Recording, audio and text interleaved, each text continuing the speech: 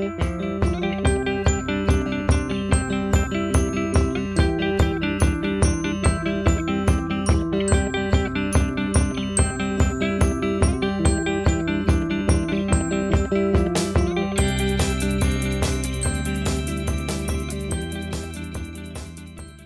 reason why I have chosen like ISAE-SUPAERO is that like I found that there is a lot of uh, collaboration between the school, like the ISAE-SUPAERO, and the industry. And uh, this is like so clear, like on the website, you can find like there are a lot of scholarships that are sponsored by uh, a lot of companies uh, to study in ISAE-SUPAERO and a lot of collab research collaboration between the, the school and like uh, the industry. And that's why like I have chosen uh, ISAE-SUPAERO.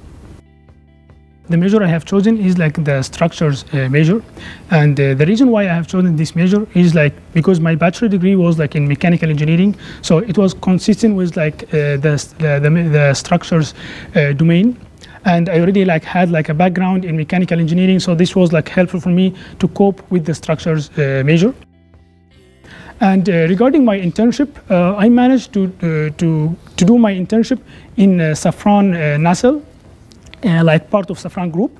And uh, it was about like structure design and optimization for uh, nacelle components. Living in the campus is like one of the advantages of uh, ISAE-SUPAERO because like the school like is just next to the uh, like the accommodation or like where you're going to live.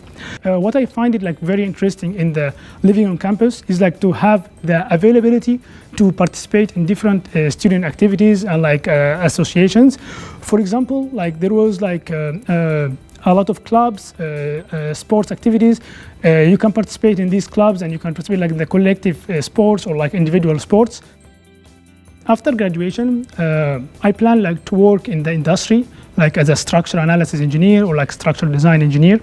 And uh, I feel like uh, SUPAERO and like the master degree from SUPAERO like have given me like the required knowledge and experience to be able like to enter in the job market uh, like in the aerospace industry.